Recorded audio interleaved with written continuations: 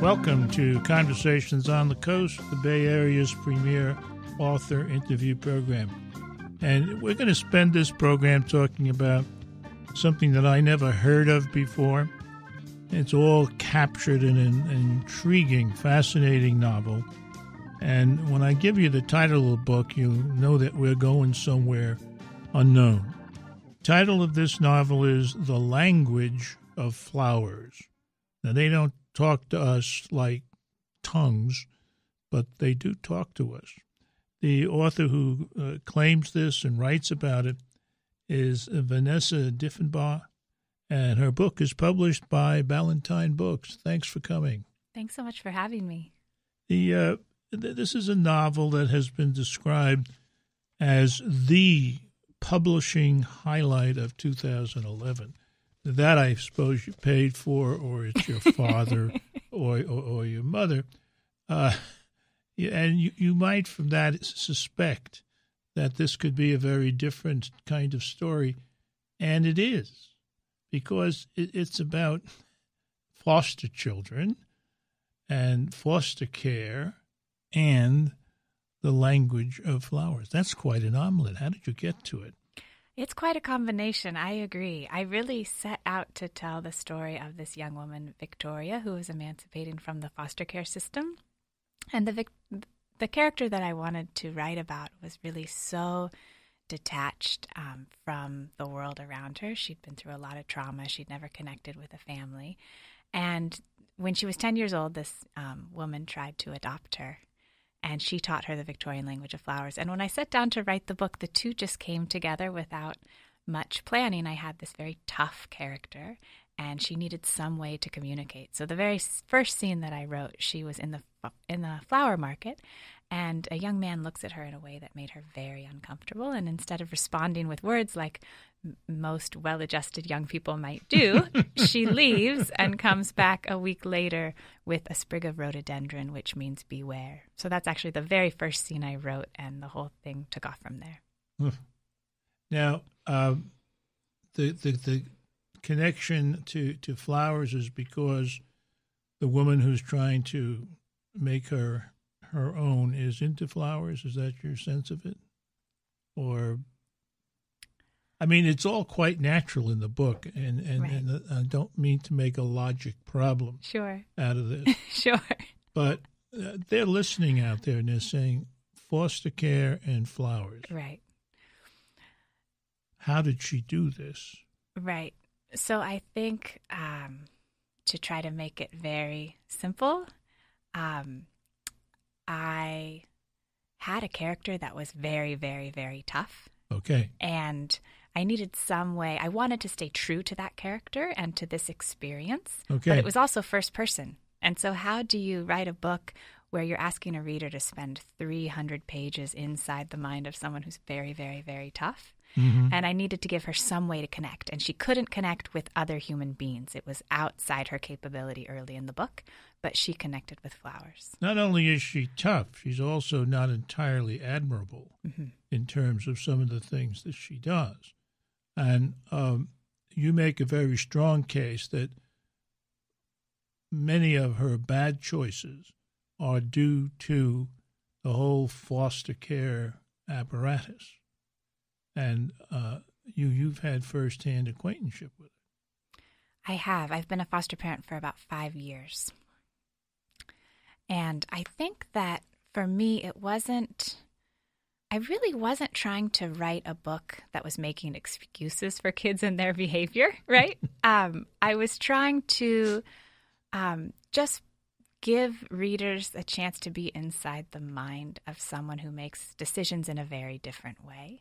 Okay. Um, because I think for me, I was very loved as a child, and everything I've ever done has been had something to do with love, right? I'm looking for love. I'm trying okay. to keep it. I'm trying to express it. It's been my guiding star in every way that I live. And some of the young people that I've worked with that have had a lot of trauma and not very much attachment make decisions in a completely different way. And so I was trying to um, kind of give a window into that experience, I think.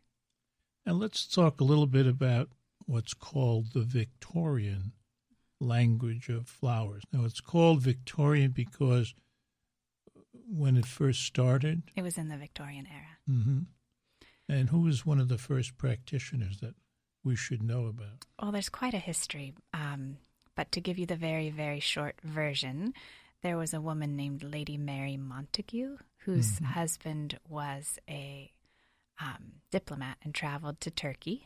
And he, um, she, when she was there, saw the practice of the salam, where people would exchange gifts through handkerchiefs and they would have to translate the objects inside the handkerchiefs into a sentence.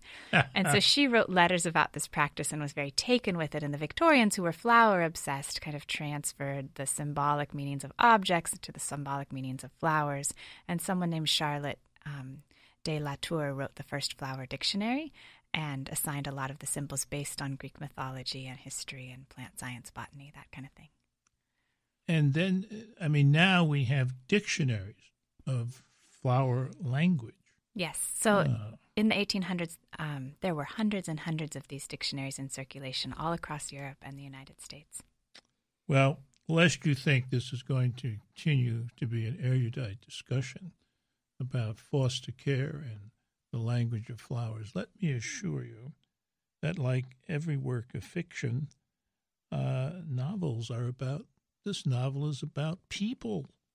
And we're going to meet some of them when we return. You're listening to Conversations on the Coast with Jim Foster. Now you can find this program on iTunes, SoundCloud, and all your favorite digital outlets. Follow the show on Twitter at Jim Foster COC and email jimfostercoc at gmail.com. We're talking today to Vanessa Diffenbaugh, who has written a book called The Language of Flowers, which is published by Ballantine Books. And an old friend of ours, uh, uh, Jamie Ford, the author of On the Corner of Bitter and Sweet, uh, has had some wonderful things to say about this book. And I uh, learned off air that this is the first person that uh, Vanessa sent the book to. And he replied, in part, a deftly powerful story of finding your way home, even after you've burned every bridge behind you, almost literally in the case of this story.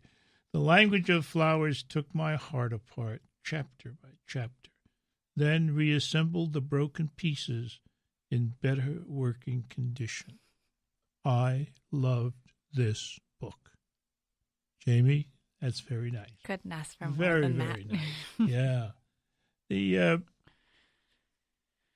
one of one of the things, one of the characters in here that um, you know people could, if I think, give the book a superficial reading, say that uh, she's a baddie.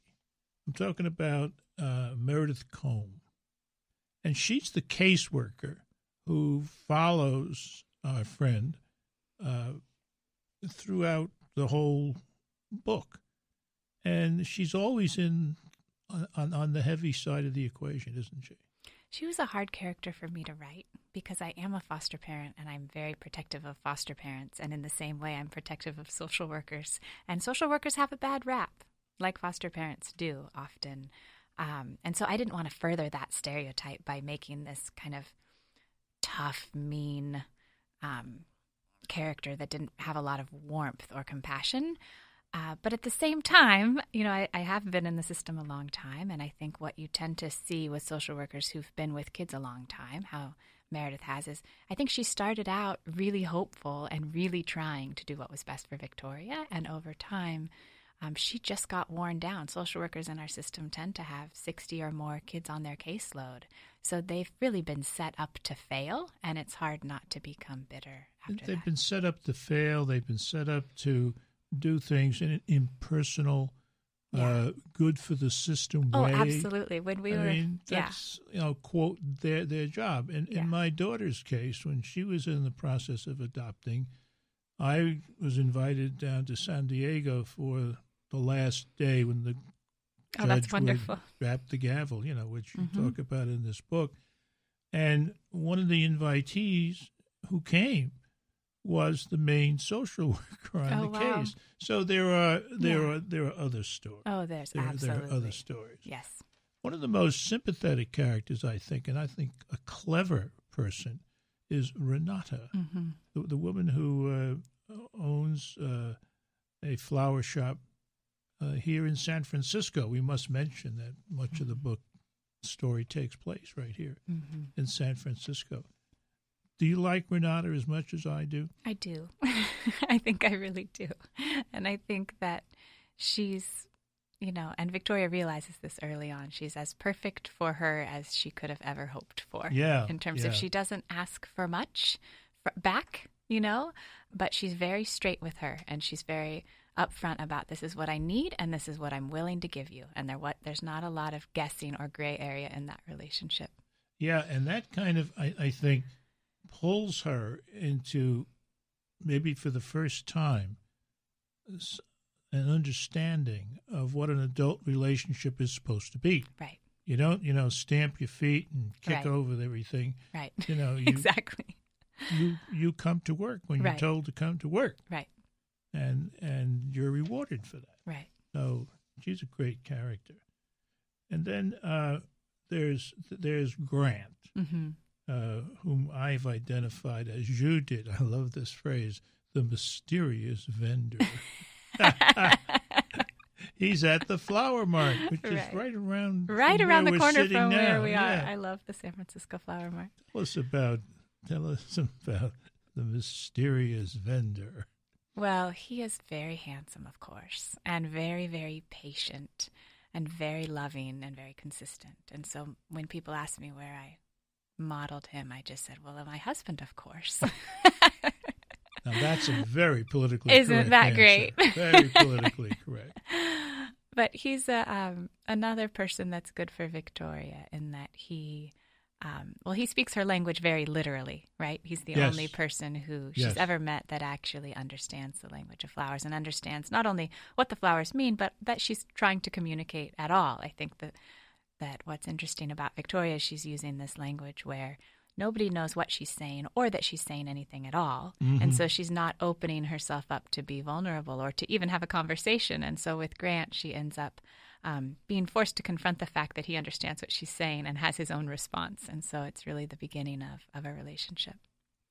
Then there is one of the main persons in the book, Elizabeth Anderson, Mm-hmm. the foster parent who is a combination of worst and best Yes. foster parent. The scene at the beginning, uh, when we first meet her, about how she serves Victoria frozen peas. Oh, that's a different foster parent, actually. Oh, it is? It I'm is. sorry. I'm sorry. That's a flashback Oh, oh, oh. into her sort of the I trauma of her past. No problem. No, I mean, I have to apologize to Elizabeth. yes, you should apologize to Elizabeth. She would never do terrible that. thing to say about about Elizabeth. Elizabeth, though, to put it simply, Mhm. loves Victoria, She does. and she puts up with God knows what because of that.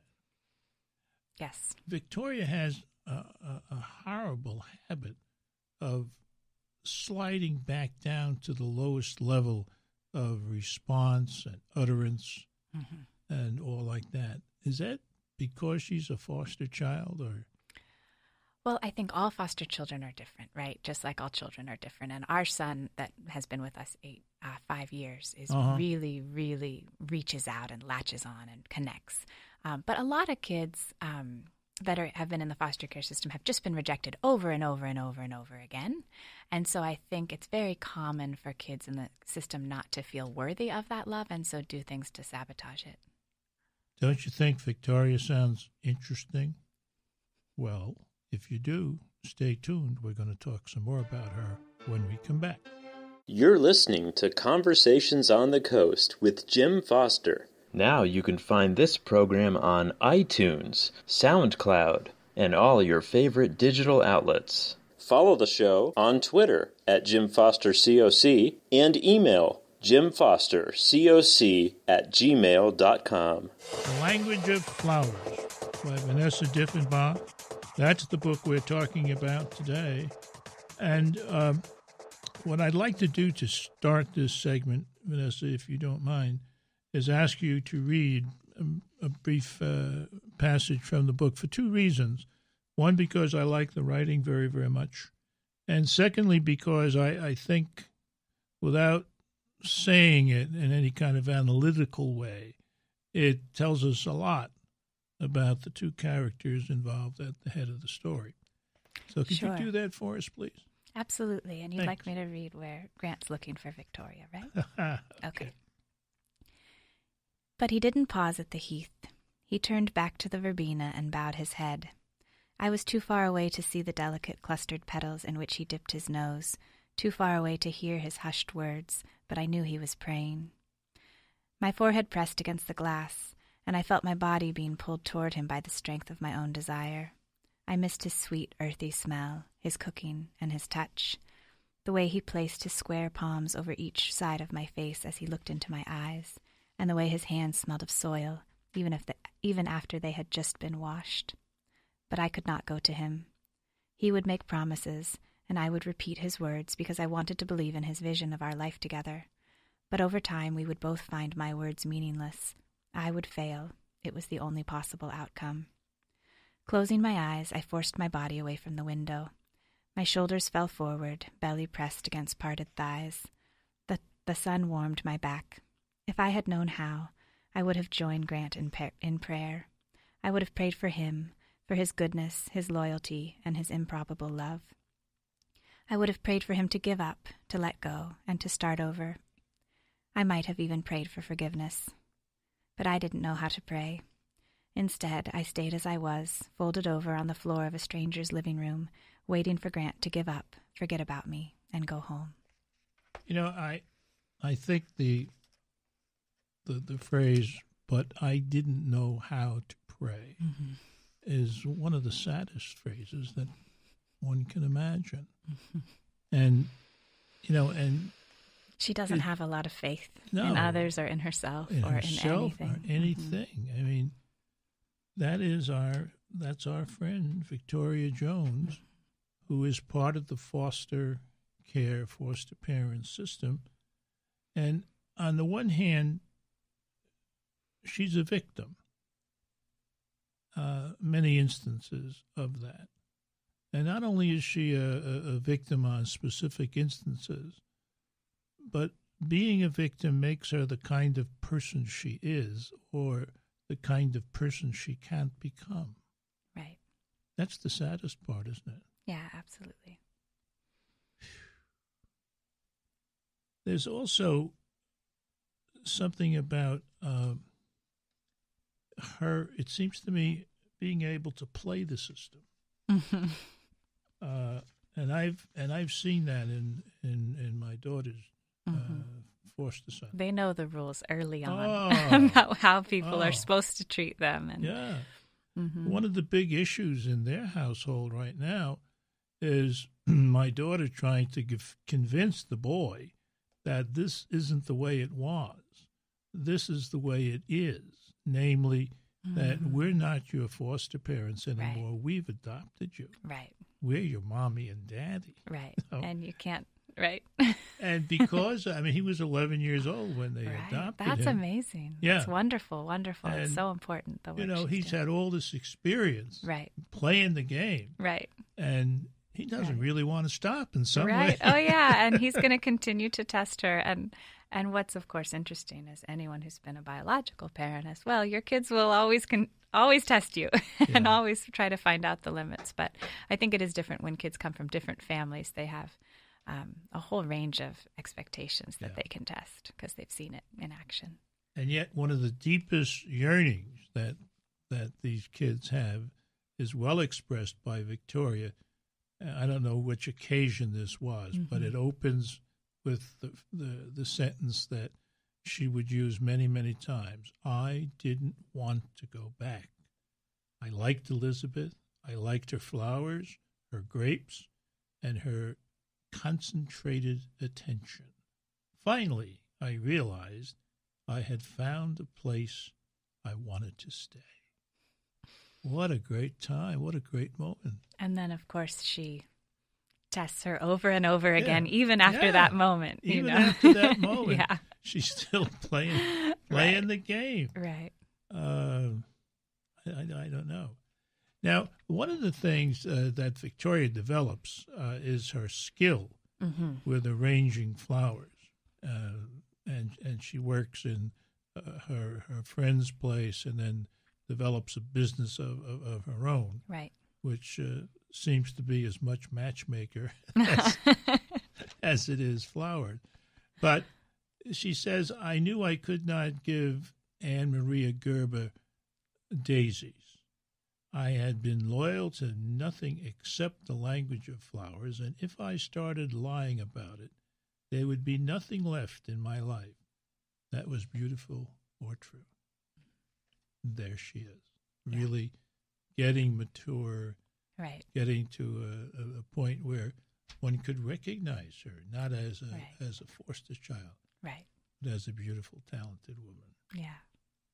Well, that's the trip you'll make in this wonderful book called The Language of Flowers by Vanessa Diffenbaugh. You might want to run out right now and buy it. This has been Conversations on the Coast, and I'm Jim Foster. Thank you so much. Now you can find this program on iTunes, SoundCloud, and all your favorite digital outlets. Follow the show on Twitter at Jim Foster COC and email jimfostercoc at gmail.com.